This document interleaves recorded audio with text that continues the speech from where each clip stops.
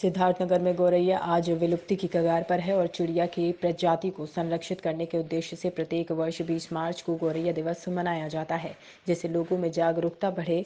जनपद सिद्धार्थनगर के कपिलवस्तु नगर पंचायत अंतर्गत सूर्य कुड़िया के निवासी कंचन वर्मा ने इस प्रजाति को बचाने के लिए अपने घर को ही गौरैया का घोंसला बना दिया है।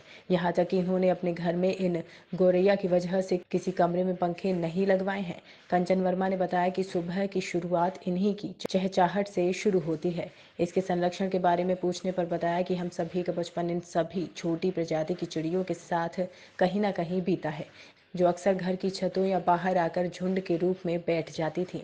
लेकिन आज ये विलुप्ति की कगार पर हैं। हम सभी को इनको विलुप्त होने से बचाना चाहिए। मेरा नाम कंचन वर्मा है। ये ग्राम सूचकुड़िया है। वार्ड नंबर तेरह, कृष्णा नगर कपिल वस्तु नगर पंचायत।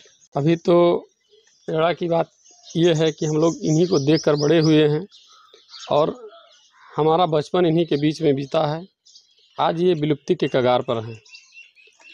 हम लगभग पिछले सोलह वर्षों से अधिक इन्हें बचाने का कार्य कर रहे हैं। हमारा सोच है कि इन्हें विलुप्ति से बचाया जाए, क्योंकि इनकी सुबह की आवाज़ जब सुनते हैं तो हमारा पूरा परिवार बड़ा खुशहाल हो जाता है।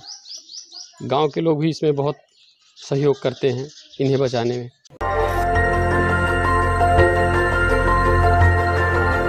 देखते रहिए डीबी भारती समाचार। नज़र हर खबर।